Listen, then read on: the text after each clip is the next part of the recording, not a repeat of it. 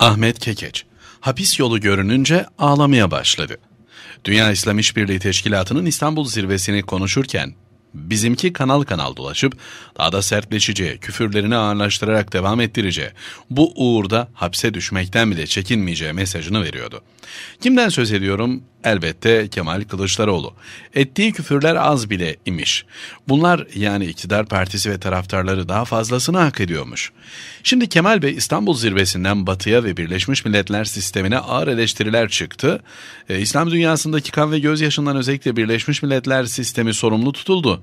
Güvenlik Konseyi'ndeki temsil adaletsizliği gündeme getirildi. Bir kez daha dünyanın beşten büyük olduğu vurgulandı ve bu fikir üye ülkeler tarafından büyük destek gördü. CHP olarak bu uyanışa ilişkin fikriniz nedir? Cumhurbaşkanı Erdoğan'ın girişimlerini destekliyor musunuz?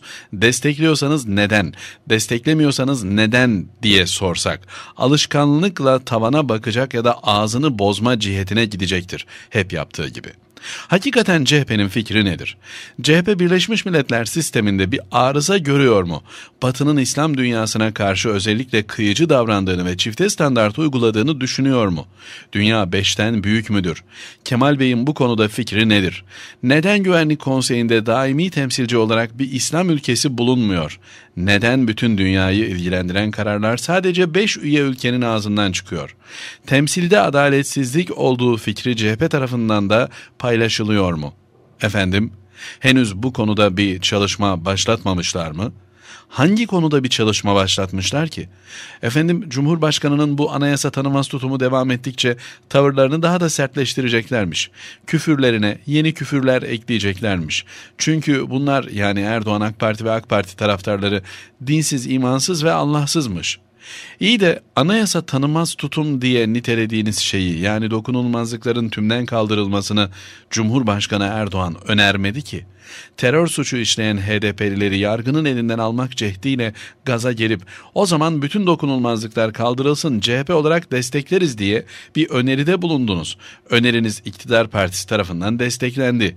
Şimdi bütün dokunulmazlıklar genel kurula getiriliyor. Mesele bu. Hem gaza gelip öneride bulunacaksınız ve bütün dokunulmazlıkların aynı anda kaldırılmasını isteyeceksiniz. Hem de Cumhurbaşkanı'nın anayasa tanımaz tutumu devam ediyor. Bu iş anayasa mahkemesinden dönmelidir. Herhalde bir milletvekili başvuru yapar diye ağlayacaksınız. Bu iş anayasa mahkemesinden döner mi Bilmem. Kendi ipinizi kendiniz çektiniz Kemal Bey. Çünkü görüşülecek fezlekelerden 37'si zatı alinize ait. Yazıyla 37. Dosyası en kabarık meclis üyelerinden birisiniz. Hepsi de küfür ve hakaret suçu. Ettiğiniz küfürlerin bedelini ödeyeceksiniz. Ödemelisiniz de. Bir umutla baktığınız anayasa mahkemesi el atmazsa hapis yolu bile görünebilir.'' Demedi demeyin. Hamiş, Kemal Kılıçdaroğlu CNN Türk'ün canlı yayınında bunlar dinsiz, imansız, Allahsız diye saydırırken Anchorman kılığındaki İbiş daha da sertleşeceğinizi söylüyorsunuz. Bu üslup AK Parti'ye yaramaz mı Kemal Bey diye soruyordu. Dikkatinizi çekerim.